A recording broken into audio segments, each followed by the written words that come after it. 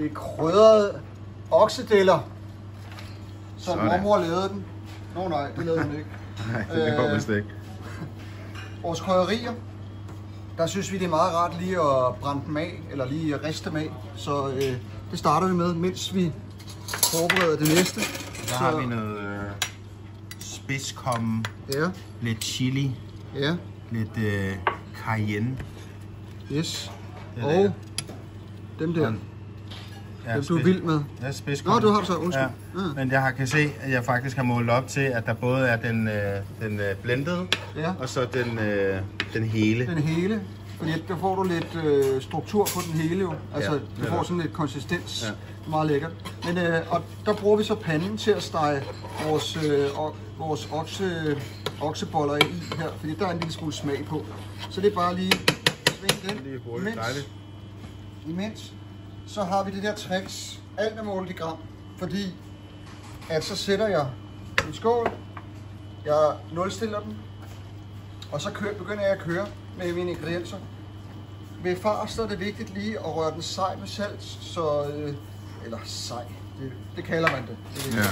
det er jo ikke sådan, at det bliver sejt af det, men det går lige ind og binder. Krydderierne er rigeligt stegt nu, eller ristet, og det er også for at fremhæve smagen, det ved jeg ikke, jeg sagde før. Men, øh, jo, Okay. Lækkert. igen. Ned med det. Dejligt. Ja. Og der er god køkkenøkonomi i det her. Det var godt. Så har jeg min æg. Og så igen nulstil. Nu har jeg jo snydt, så, så jeg kører resten af mine ting. Så nulstille hver eneste gang, Hver du eneste skal gang, have noget i Så nyt i. behøver du ikke at stå og lave de her små Nej. i skole. Nej, Øh, præcis. ikke? Det var sådan, det var sådan lidt det, der var tanken bag. Ja, ja. Mega smart. Og så er det guidelines til dem, der er meget i tvivl om, hvordan der vil ledes.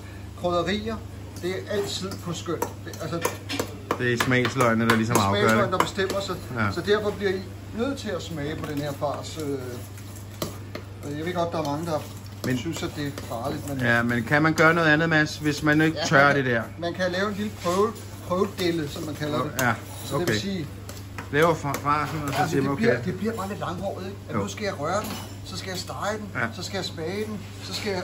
Blah, blah, blah, Ja, ja, ja, så, ja. så der vælger jeg jo selvfølgelig bare at sige, det er min fars. Mum. Lige præcis. Og altså, Ja, der er det. ja. Så er vi jo kørende. Med citron.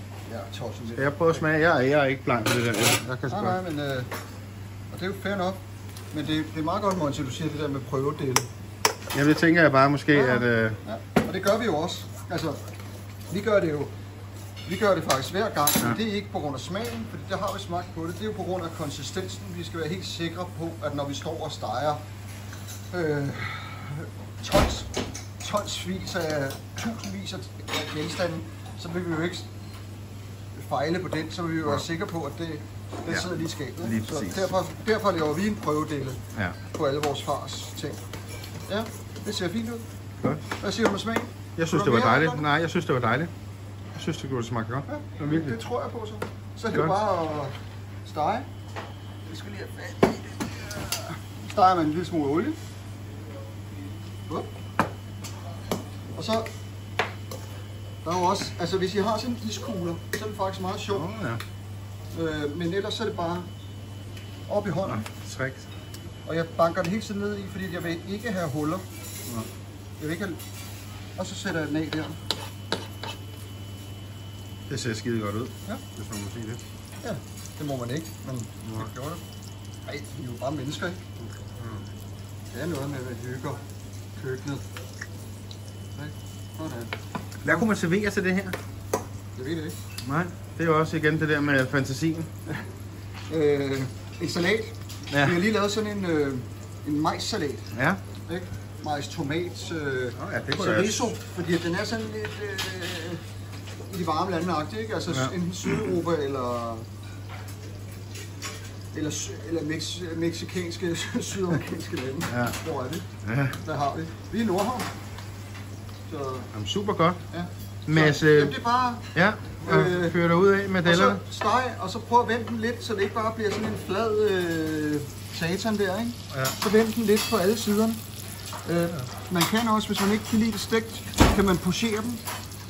Og det vil bare sige øh, over i en gang øh, vand, der lige står og simmer. Det Altså, ja, ligesom med, øh, hvad hedder det, i boller kaj, i ikke? karry, Ja, lige præcis. ikke? ja, ja. Øh, det er også fint. Men jeg, jeg synes bare, det passer godt til stik til de her, de her dejlige varme krydderier. Ikke? Så Jo, det er bare... netop. Og genialt det der, du gør med, at du lige sorterer dine varme krydderier af på panden, ja. og så bruger du den samme pande, lige lidt ekstra olie på, og så starter du faktisk også dellen i der.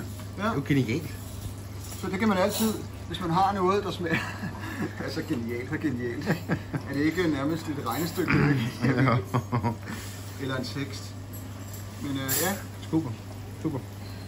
Og her når man steger, trickset ved at stege diller og kødboller og hvad man ellers steger, det er hele tiden at deglacere, som vi kalder det. Man deglacerer simpelthen sit, sit, sit element i, øh, i, den, i det stegefedt, man har. Ja, tak. Og øh, ja, så er det bare anretning. Der er ikke så meget i det, sådan set. Øh, vi, vi synes lige, det skal op på et, bare et så stykke det fedtsugende papir. sejler rundt Bare lidt det ikke sejler rundt. Ikke? Ja, god idé. God idé. Og så er det bare simpelthen Og så har du, ja, lækkert.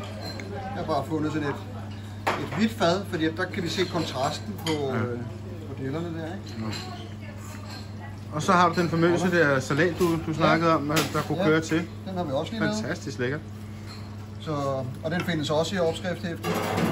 Ja. Øh, og jeg har lige gjort sådan lidt anderledes, hvis du... Så kan du faktisk næsten lave det samme med. Ja, Øh, to, to dage i træk, ikke? Øh, bare for at vise. Og der kunne man tage den, øh, den lækre salat her og Ja, ja. på der, ikke? Sådan. Smukt. Og der, ja, hvad skulle vi have på der? Der er persille i øh, de stegte boller, så er der også persille på toppen, altid. Så ja, hvad er der at sige? Go ahead, make our day punk.